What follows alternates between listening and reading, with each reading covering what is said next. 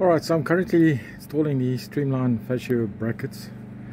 Um, it's quite a simple way if you, for what I've done is, um,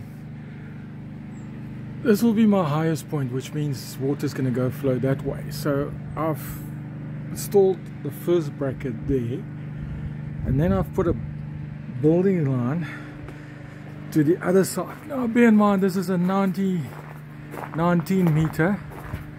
So what I've done is uh, I've put the other bracket a second to last one um, because the building line is a bit short. So here I've installed it 20 millimeter down. So remember the other one down there was the highest point. And then I've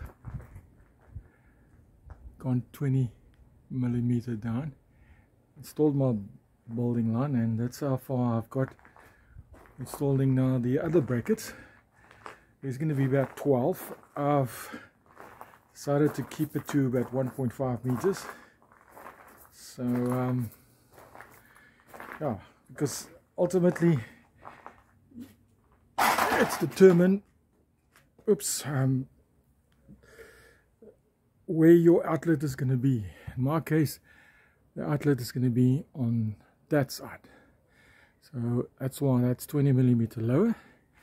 Then the building line is connected and then you basically just in intervals of 1.5 meters you install those brackets